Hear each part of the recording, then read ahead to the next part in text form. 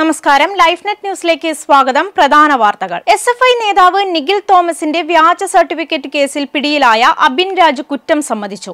Certificate തരപ്പെടുത്തിയത് എറണാകുളത്തെ ഏജൻസിയിൽ നിന്ന് തന്നെയെന്ന് അബിൻ രാജ് പോലീസിനോട് സമ്മതിച്ചു. എസ് എഫ് ഐ മുൻ നേതാവായ അബിൻ രാജിനെ മാലിദ്വീപിൽ നിന്ന് നെടുമ്പാശ്ശേരിയിൽ എത്തിച്ചപ്പോഴാണ് പോലീസ് കസ്റ്റഡിയിലെടുത്തത്. അബിനെ കായംകുളം പോലീസ് ചോദ്യം ചെയ്തുകൊണ്ടിരിക്കുകയാണ്. മുൻ എസ് എഫ് ഐ നേതാവ് നിഖിൽ തോമസിന്റെ വ്യാജ ഡിഗ്രി കേസിൽ രണ്ടാം പ്രതിയായ അബിൻ സി രാജിനെ ജോലിയിൽ നിന്ന് പിരിച്ചുവിട്ടു. മാലിദ്വീപ് ഭരണകൂടത്തിന്റേതാണ് നടപടി. അബിൻ സി രാജിന്റെ സിമ്മും വർക്ക് പെർമിറ്റും റദ്ദാക്കി. വ്യാജരേഖ കേസിൽ കെ വിദ്യ നീലേശ്വരം പോലീസ് സ്റ്റേഷനിൽ ചോദ്യം ചെയ്യലിന് ഹാജരായി. കരിന്തളം ഗവൺമെന്റ് കോളേജിൽ വ്യാജ പ്രവൃത്തി പരിചയ സർട്ടിഫിക്കറ്റ് ഹാജരാക്കി ഗസ്റ്റ് ലെക്ചർ നിയമനം നേടിയ കേസിലാണ് നീലേശ്വരം പോലീസിന്റെ അന്വേഷണം.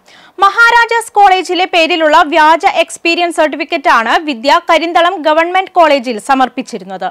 മുഖ്യമന്ത്രി പിണറായി വിജയനെതിരായ ബംഗളൂരുവിലെ മുതിർന്ന മാധ്യമപ്രവർത്തകയുടെ വെളിപ്പെടുത്തലിൽ അന്വേഷണം വേണമെന്ന് പ്രതിപക്ഷ നേതാവ് V D Satheesan. Real estate മുതലാളിമാരുമായി ചേർന്ന് പിണറായി ആയിരത്തി അഞ്ഞൂറ് ഏക്കറോളം സ്ഥലം തമിഴ്നാട്ടിലും കേരളത്തിലും സ്വന്തമാക്കി വെച്ചിട്ടുണ്ടെന്നാണ് ബംഗളൂരുവിലെ മാധ്യമപ്രവർത്തക സന്ധ്യ രവിശങ്കറിന്റെ ആരോപണം. ഓൺലൈൻ മീഡിയ വഴിയാണ് വെളിപ്പെടുത്തൽ. ആരോപണം തെറ്റാണെങ്കിൽ മാനനഷ്ട കേസ് നൽകാൻ മുഖ്യമന്ത്രി തയ്യാറാകണമെന്നും അദ്ദേഹം പറഞ്ഞു. ലൈഫ് മിഷൻ കരാർ അട്ടിമറിച്ചത് മുഖ്യമന്ത്രിയുടെ സാന്നിധ്യത്തിൽ ക്ലിഫ് ഹൌസിൽ വെച്ച് നടന്ന യോഗത്തിലെന്ന് സ്വപ്ന സുരേഷിന്റെ മൊഴി. കൗൺസിൽ ജനറൽ അടക്കം കമ്മീഷൻ കിട്ടുന്നതിനായി മുഖ്യമന്ത്രിയുടെ അറിവോടെയാണ് വ്യവസ്ഥകളിൽ മാറ്റം വരുത്തിയതെന്നും ഇ കോടതിയിൽ സമർപ്പിച്ച കുറ്റപത്രത്തിൽ പറയുന്നു. സംസ്ഥാനത്ത് പതിനയ്യായിരത്തി നാനൂറ്റി തൊണ്ണൂറ്റി മൂന്ന് പേർ കൂടി പകർച്ചപ്പനി ബാധിച്ച് ചികിത്സ തേടി. എട്ട് മരണങ്ങളും റിപ്പോർട്ട് ചെയ്തു. മൂന്ന് മരണങ്ങളിൽ ഓരോന്ന് ഡെങ്കി എലിപ്പനി എച്ച് എന്നിവ കാരണമാണെന്ന് കണ്ടെത്തി. ഇടുക്കിയിൽ വീണ്ടും ആഫ്രിക്കൻ പന്നിപ്പനി സ്ഥിരീകരിച്ചു. വാത്തിക്കുടി പഞ്ചായത്തിലെ പതിനഞ്ചാം വാർഡ് പടമുഖത്താണ് ആഫ്രിക്കൻ പന്നിപ്പനി സ്ഥിരീകരിച്ചത്. ഇതിന് ഒരു കിലോമീറ്റർ ചുറ്റളവിലുള്ള ഫാമുകളിലെ പന്നികളെ ദയാവധത്തിന് വിധേയമാക്കും. നേരത്തെയും വ്യാപകമായി ജില്ലയിൽ പന്നിപ്പനി സ്ഥിരീകരിച്ചിരുന്നു. അട്ടപ്പാടിയിൽ ഡോക്ടർമാർക്ക് കൂട്ട സ്ഥലം മാറ്റം. അഗളിയിലെയും കോട്ടത്തറയിലെയും പതിനാല് ഡോക്ടർമാരെയാണ് സ്ഥലം മാറ്റിയത്. പകരം ഡോക്ടർമാർ എത്താത്തതിനാൽ ആദിവാസികൾ ഉൾപ്പെടെ രോഗികൾ ദുരിതത്തിലാണ്. അടുത്ത ആഴ്ചയോടെ പുതിയ ഡോക്ടർമാർ എത്തുമെന്ന് പാലക്കാട് ഡി അറിയിച്ചു. പാലക്കാട് ജില്ലയിലെ പാർട്ടിയിലെ വിഭാഗീയതയിൽ സി പി ഐ എം നടപടി തുടരുന്നു. കൊല്ലങ്കോട് ഏരിയ കമ്മിറ്റിയിൽ നിന്ന് നാലു പേരെ ഒഴിവാക്കിയപ്പോൾ അഞ്ചു പേരെ തിരിച്ചെടുത്തു. മുൻ ഏരിയ സെക്രട്ടറി യു അസീസ് ഉൾപ്പെടെയുള്ളവരെയാണ് തിരിച്ചെടുത്തത്. അന്വേഷണ കമ്മീഷൻ കണ്ടെത്തലിന്റെ അടിസ്ഥാനത്തിലാണ് സി നടപടി. K P C C president K സുധാകരനെതിരെ സർക്കാർ ഇല്ലാത്ത കേസെടുക്കുന്നുവെന്ന് പ്രതിപക്ഷ നേതാവ് വി ഡി സതീശൻ. ആരോപണങ്ങളിൽ നിന്നും ശ്രദ്ധ തിരിക്കാൻ ശ്രമിക്കുന്നു. കേസെടുത്തത് നീക്കം ചെയ്ത ഡ്രൈവറുടെ മൊഴിയിലാണ്. മുഖ്യമന്ത്രിക്കെതിരെ ജി ശക്തിധരന്റെ ആരോപണം ഗൗരവതരമാണെന്നും അദ്ദേഹം പറഞ്ഞു.